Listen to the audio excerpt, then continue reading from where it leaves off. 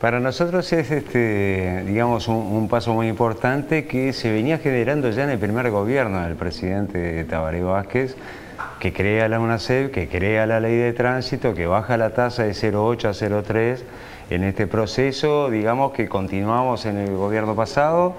Y bueno, y en este se consolida una estrategia que obviamente no le es ajena al presidente, y obviamente a nosotros tampoco porque estamos en este tema de hace muchísimos años. Y bueno, es, digamos, recoger lo que se sembrado, con dos aspectos que nos parece que son muy importantes, que eh, se produce a punto de partida de una reunión de una comisión convocada por el presidente de la República, con todos los partidos políticos, los sectores sociales involucrados, donde todos eh, tienen la misma línea de trabajo, y esto costó mucho, es decir, muchos años de discusiones también. Hay que ver que en realidad tasa cero hay en el país del año 1994.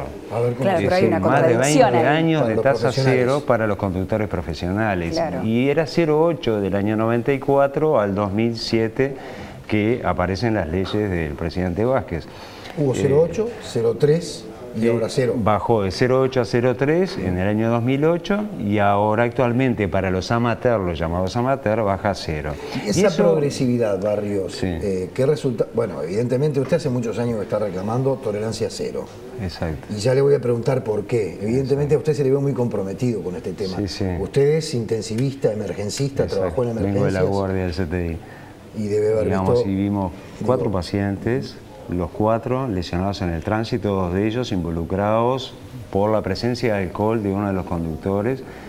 Y esto nos convoca a todos a reflexionar lo siguiente. El año pasado hubieron, por ejemplo, 2.000 familias, 2.000 familias, casi un pueblo, o un pueblo del interior del país, que tienen un lesionado producto de que un conductor alcoholizado los lesiona en un siniestro de tránsito. Entonces nos convoca a todos a mirar este tema en forma diferente. Y los cambios se han venido produciendo, es decir, es objetivo que en estos años ha habido un cambio muy importante. Las encuestas que nosotros hacemos todos los años señalan que más del 90% de los uruguayos está de acuerdo con la tasa de alcohol cero y está de acuerdo con normas y controles más efectivos en este, en este aspecto.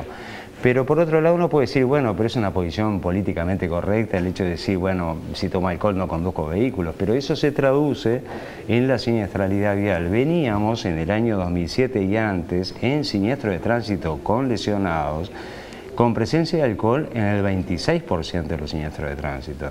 Hoy estamos en el 5% a 0,3, no al 0,8 de aquel 26%. Eso ha permitido y permite establecer y percibir aparte que ha habido un cambio en las conductas de los uruguayos en el tránsito, pero que no es suficiente. Claro. En esto hay que tener un idioma común y un lenguaje entendible, es decir, no es comprensible por qué un conductor profesional tiene que tener cero y por qué cualquiera de nosotros amateur podemos tener 0,3, podemos tomar un poquito cuando en realidad un conductor profesional tiene cero porque a partir de cero, digamos, empiezan los efectos nocivos. Claro, justamente.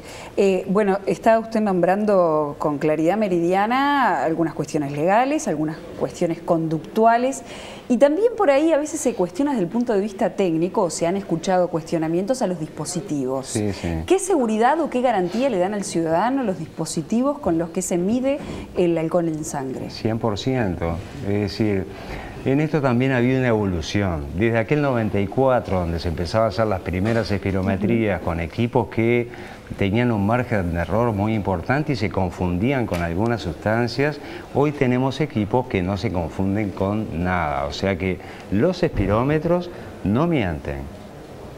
Si da, si da positivo, es porque hay, alcohol, porque solo detectan el etanol, que es el alcohol que se ingiere desde fuera del organismo. No se confunden con ningún medicamento, no se confunden con ninguna producción endógena, todos esos mitos que hay, que a veces se confunde la población pensando que en realidad esos son verdades científicas y la verdad científica es una sola, digamos, y es terminante.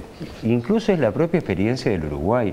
Hay que ver que en nuestro país en los últimos años se están haciendo aproximadamente 60.000 espirometrías al año. Y eso eh, está diciendo que, bueno, que hay obviamente una, este, una seguridad en el procedimiento que se hace y en los resultados que se hace. Podrá haber discusiones o todo un montón de aspectos, digamos, pero eh, a la hora de la verdad, cuando el espirómetro va a decir ahora por encima de cero, quiere decir que se toma alcohol. Entonces acá es bien sencillo, si se toma alcohol no se conduce vehículos, no hay lugar a discusión.